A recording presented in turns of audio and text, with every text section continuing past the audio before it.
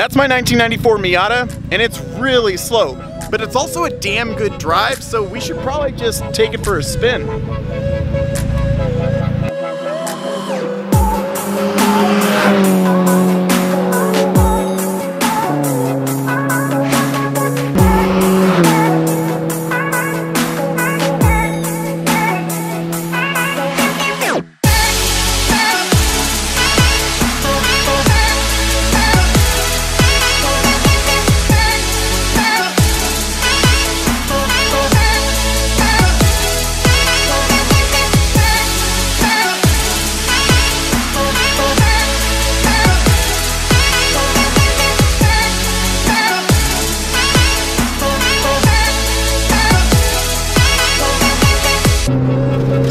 Might be a little loud in here, but this is my 1994 Mazda Miata. It's an NA8, meaning that it has the 1.8 liter inline four.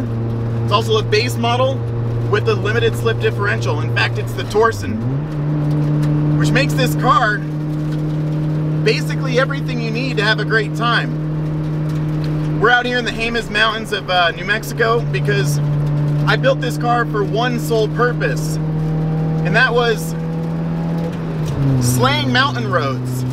And these are some of the best that I know of.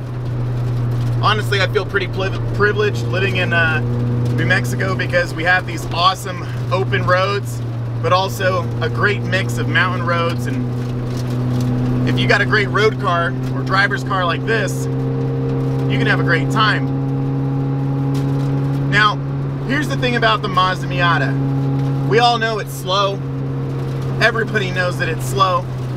But it's also a pure driver's car. And that's what makes this such a great value proposition is that in my opinion, it's essentially the budget benchmark of driver's cars. It's got everything you need. Inline four, rear wheel drive, limited slip differential, and a, one of the best, one of the best gearboxes in the game, friends. Now, what's funny about these cars is I didn't used to like these. In fact, I used to talk a lot of shit about them. And then I drove one back in 2013 because a friend bought one for $1,500. Now, it was ratty with 150,000 miles. But even then, I drove it and I knew that at some point I was gonna have to own one.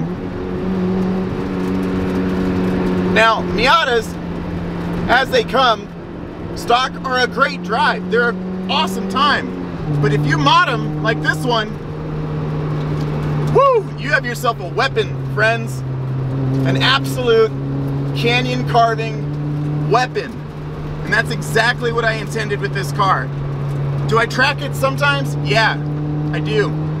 But more than anything, I built this car to just be an amazing back roads and mountain scalpel, if you will. Oof.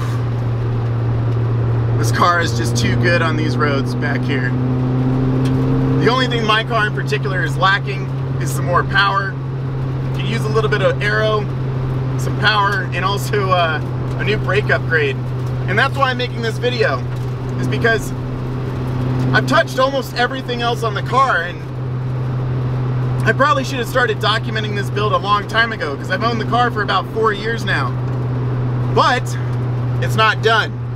So I'll be making videos every step of the way to finish out this car so that you all can see what I come up with, which is basically my iteration of the very best Miata that I can build And just so you guys know, growing up, I've always been a Porsche guy. Love Porsches. My dad had a 911. Whoop! Whoop!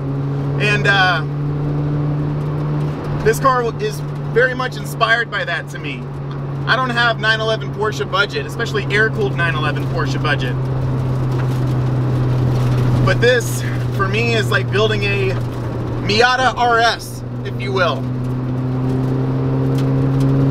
much like the Porsche RS cars, where they're very much road cars that are also very much track and race inspired. That's exactly what I want this car to be. Basically, if Mazda and Porsche in the 90s teamed up to build a, a Miata that was Porsche inspired. This is what I wanted it. This is what I want. Next video I'll make, I'll be going over all the parts that are on the car. As you notice, I got a roll bar back there. I'll go over suspension setup. I'll go over literally everything that's been done to the car this far. Thanks for watching. This should be a fun build series. And if you followed me here from Miata Academy, what's up Academy fam? I know you all wanted this video for a while. And I'll leave you guys just a little bit of driving footage. Like, comment, subscribe, and I'll see you on the next one.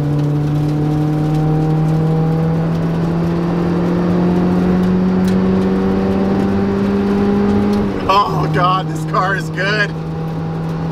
Oh.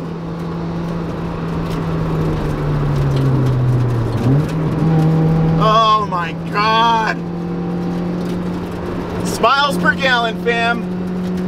Smiles per gallon.